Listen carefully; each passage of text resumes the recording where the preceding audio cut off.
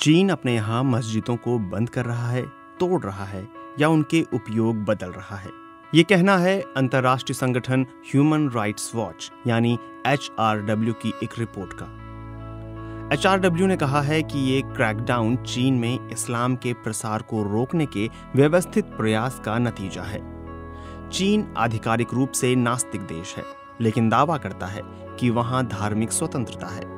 चीन में करीब दो करोड़ मुसलमान रहते हैं। हालाँकि विशेषज्ञ मानते हैं कि हाल के सालों में चीन में धर्म पर नियंत्रण बढ़ा है। एच की ये रिपोर्ट चीन के शिंजियांग प्रांत में रहने वाले वीगर मुसलमानों के मानवाधिकार, हनन और शोषण के बढ़ते सबूतों के बाद आई है। चीन वीगर मुसलमानों के शोषण के आरोपों को खारिज करता रहा है। चीन के अधिकतर मुसलमान देश के उत्तर पश्चिमी हिस्से में रहते हैं।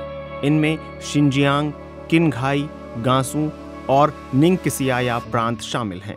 एच की रिपोर्ट के मुताबिक स्वायत्त क्षेत्र निंगकिसियाया के एक गाँव में छह से तीन मस्जिदों के गुंबद और मीनारों को हटा दिया गया।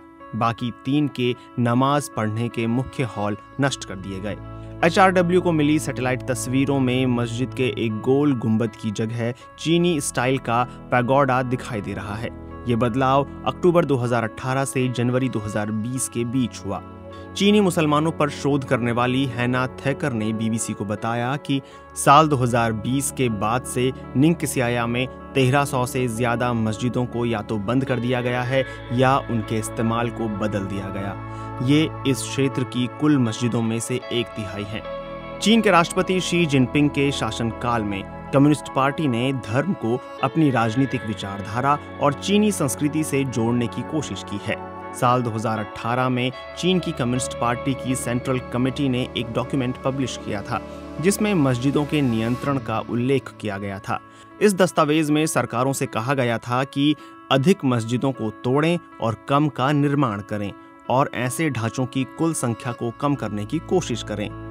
इस दस्तावेज़ के मुताबिक मस्जिदों के निर्माण लेआउट और मस्जिदों को मिलने वाले फंड पर सख्त निगरानी की जानी चाहिए।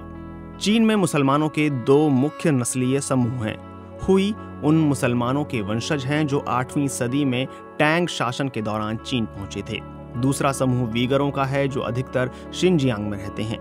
चीन की सरकार का दावा है कि मस्जिदों का समेकन, यानी उन्हें एक जगह करना, ये आमतौर पर तब होता है जब गाँवों को स्थानांतरित किया जाता है या एक साथ मिला दिया जाता है। इससे मुसलमानों पर आर्थिक बोझ कम हो रहा है। लेकिन कुछ हुई मुसलमानों का कहना है कि इसका मकसद उनकी वफादारी को कम्युनिस्ट पार्टी की तरफ़ मोड़ना है। इसे चीनीकरण की रणनीति कहा जाता है। एच की रिपोर्ट में उनके हवाले से कहा गया है कि जब लोग मस्जिदों में जाना बंद कर देते हैं, तब प्रशासन इसे मस्जिद को बंद करने के बहाने के रूप में इस्तेमाल करता है। चीन की सरकार के इस अभियान से सिर्फ़ मुसलमान ही नहीं, अन्य अल्पसंख्यक धर्मों के लोग भी प्रभावित हुए हैं। उदाहरण के लिए, हाल के महीनों में ही चीन ने आधिकारिक और राजनयिक दस्तावेजों में तिब्बत की जगह सिजांग शब्द के इस्तेमाल को मंजूरी दी है। ये इस क्षेत्र का मैंडरिन भाषा का नाम है। प्रशासन ने चर्चों से क्रॉस हटवा दिए हैं। पादरियों को गिरफ़्तार किया गया है और ऑनलाइन स्टोर से बाइबल को भी हटवा दिया गया है। चीन में हो रही इन गतिविधियों पर अभी तक तमाम मुस्लिम देशों ने चुप्पी साधी हुई है। विशेषज्ञ इस चुप्पी के पीछे चीन की आर्थिक शक्ति और उसके पलटवार के डर को सबसे बड़ी वजह मानते हैं।